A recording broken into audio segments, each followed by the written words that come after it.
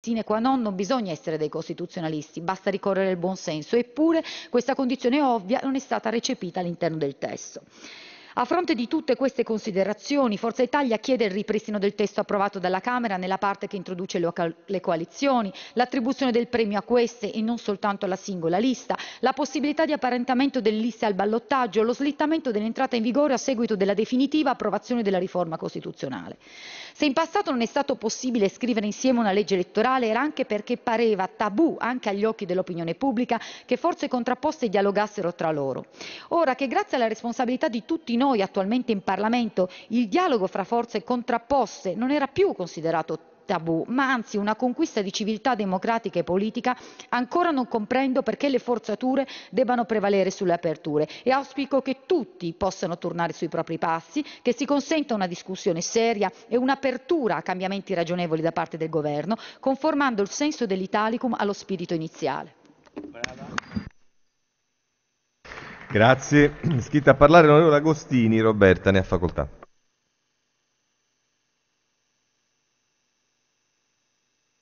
Presidente, intervengo oggi sulla legge elettorale dopo quanto accaduto con la sostituzione in prima commissione che di fatto ha limitato la possibilità di confronto io credo che soprattutto su temi di rango costituzionale i singoli parlamentari possano e debbano esercitare il proprio ruolo con autonomia e responsabilità e che su alcune materie il Governo dovrebbe lasciare spazio alla dialettica parlamentare, spazio essenziale della vita democratica.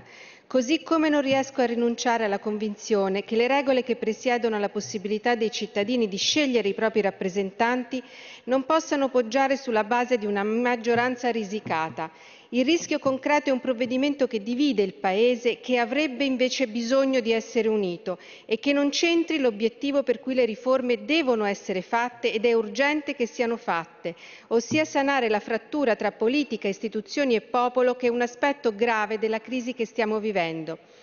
La legge elettorale che ci arriva dal Senato è migliore di quella che abbiamo licenziato alla Camera, su aspetti che erano stati richiesti da molti parlamentari, da docenti, costituzionalisti, forze sociali. Per me, grazie a una battaglia delle donne forte e trasversale, sono state introdotte alcune regole importanti per il riequilibrio di genere, doppia preferenza e norma antidiscriminatoria sui capilista. Eppure alcune scelte non condivisibili caratterizzano l'impianto di fondo e che, considerate insieme alle scelte compiute con la riforma costituzionale, provocano una sfasatura negli equilibri tra i poteri dello Stato e sbilanciano il rapporto tra governabilità e rappresentanza. Un ballottaggio concepito come sfida tra i capi dei due principali partiti che si aggiudicheranno il premio di maggioranza cambia nei fatti la forma di governo e rende più debole il ruolo del Parlamento. Un premio attribuito a una sola lista vincente rafforzerà la tendenza verso partiti piglia tutto, con un profilo ed un'offerta politica per forza scarsamente definita, tenuti insieme da una leadership carismatica e concepiti sempre di più come partiti personali. Passeremmo dalle coalizioni infedeli ai listoni pigliatutto.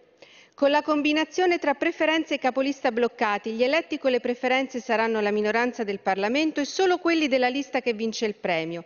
È giusto che i partiti scelgano chi candidare ed eleggere, magari partiti diversi, regolati da una legge che non c'è, di attuazione dell'articolo 49 della Costituzione. Ma le regole dovrebbero valere per tutti, allo stesso modo, grandi e piccoli.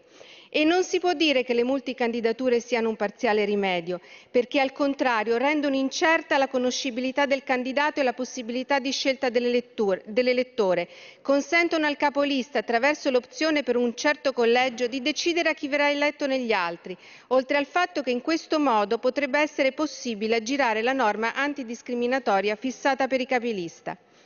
Queste sono solo alcune delle osservazioni possibili e il tempo non mi consente di approfondire e di argomentare altro. Le riforme per me dovrebbero avere l'obiettivo innanzitutto di ristabilire il rapporto di fiducia tra eletti ed elettori, rafforzare il ruolo del Parlamento e nello stesso tempo l'esercizio della funzione di governo. Si può fare. Costruire la possibilità dell'alternanza e ridefinire il ruolo dei partiti come soggetti democratici della vita politica. Obiettivi difficili, certo, non tutti perseguibili unicamente per la via delle riforme e delle leggi. Che però credo che eh, non siano diciamo, contenuti nella legge che stiamo, eh, che stiamo approvando e che comunque certo le prove di forza o addirittura la minaccia di fiducia non aiutano a raggiungere. Io continuo a credere, Presidente, ho finito, che la politica sia anche faticosa ricerca del consenso e dell'unità e chiedo anche oggi che non si rinunci a percorrere questa strada. Grazie. È scritto a parlare l'onorevole Sanna, ne ha facoltà.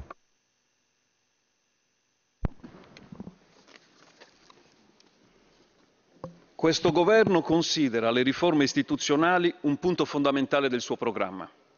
Pertanto intende dare il suo contributo allo stesso processo di riforma del sistema elettorale, assumendo la responsabilità delle necessarie iniziative ai fini del dibattito parlamentare.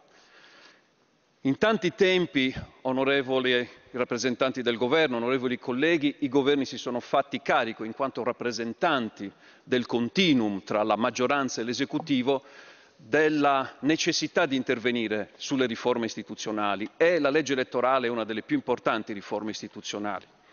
Anche l'onorevole Massimo D'Alema, nel testo